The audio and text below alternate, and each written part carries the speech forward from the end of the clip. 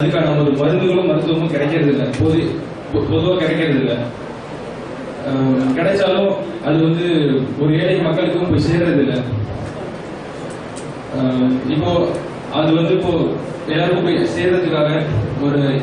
பணக்காரர்களுக்கும் ஏழைகளுக்கும் சமமா ஒரு ஒரு மருத்துவம் அமையறதுக்காக எச்சரிக்கை நடவடிக்கை எடுக்கணும் முன்கூட்டியே நடவடிக்கை எடுக்கிறது வந்து கண்டிப்பா இங்க ஒரு முயற்சி ஆகுன்றது இந்த முயற்சி வந்து நீங்க ஆட்சி அமைத்த பிறகும் தொடரணும் அதாவது இப்ப நீங்க வந்து நம்ம மக்கள் நேரடியாக பார்க்கணும்